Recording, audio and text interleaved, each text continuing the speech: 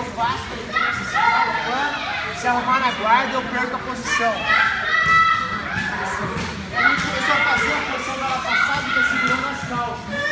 As posições que nós treinamos foi tudo hora passada segurando a calça. Para passar, para passar segurando a calça. E o cara já sabe. Mas eu quero segurar a calça, ele não deixa, pode ficar. Eu quero segurar a calça lá, mas ele não deixa, vai ficar pegada o braço.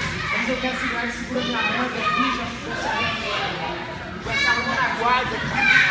Daí eu não consigo dar esse primeiro, uma primeira blitz aí na guarda dele. Ele vai se arrumar para mim fazer uma passagem. O que a gente vê, essa situação que eu estourei a pegada e estou afastado, ele defendeu minha passagem de guarda. Na hora eu defender a guarda dele, fazer uma passagem. Eu vou fazer o quê? Eu quero segurar agora a manga, a calça, eu estou conseguindo, eu vou segurar na gola.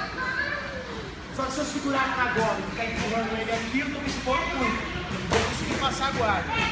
Bom, eu vou segurar a gola e essa mão aqui no chão. Vou fazer esse movimento, esse movimento de guarda. Só que eu tenho que fazer com a mão no chão.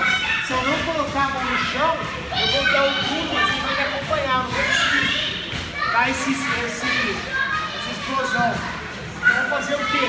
Essa mão tem que puxar, não empurra. Se eu empurrar para fazer o que eu vou fazer, para na guarda dele.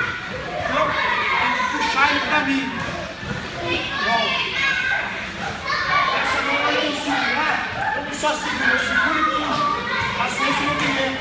Eu já agarro o kimono e puxo. Pegar é importante, não pode estar no kimono mudando. No lugar eu segurar, eu tenho que puxar. Puxei, mão no tatame, vai para as costas. Normalmente o cara vai deitar no chão. Vou parar no centímetro. Mais uma. Segura a bola puxando, mão no chão, vou pular para as costas dele, como se fosse para as costas. O cara já vai deitar para pôr a guarda. E arruma o centímetro.